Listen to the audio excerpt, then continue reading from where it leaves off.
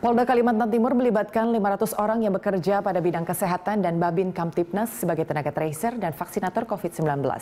Hal ini dilakukan untuk memperkuat Satgas COVID-19 dalam penerapan PPKM Mikro tingkat RT dan RW. Kapolda Kalimantan Timur Irjen Pol Heri Rudolf Nahak menjelaskan 500 orang ini akan bertugas sebagai tenaga vaksinator dan tenaga tracer COVID-19. Tenaga vaksinator untuk mendukung program vaksinasi COVID-19, sementara Babin Kamtipnas akan mengemban tugas sebagai tenaga tracer COVID-19 untuk mendukung program PPKM skala mikro.